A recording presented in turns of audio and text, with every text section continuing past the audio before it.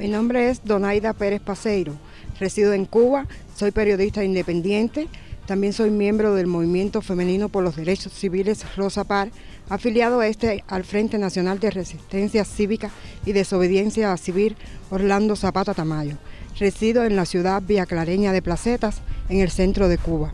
Eh, he sido víctima de la represión por parte de la seguridad del Estado por mis actividades en contra del, régimen, por lo que he sido golpeada y encarcelada, como tantos otros hermanos que luchan como yo por la libertad y la democracia en nuestro país.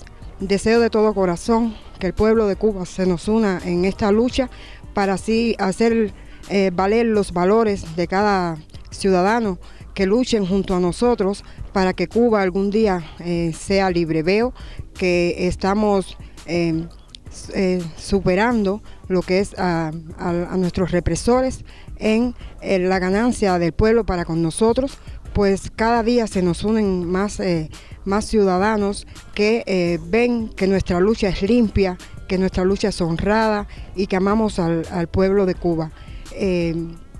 Deseo de todo corazón que mi patria sea libre y para eso lucho y lucharé hasta mis últimos hasta mis últimos días. Muchas gracias.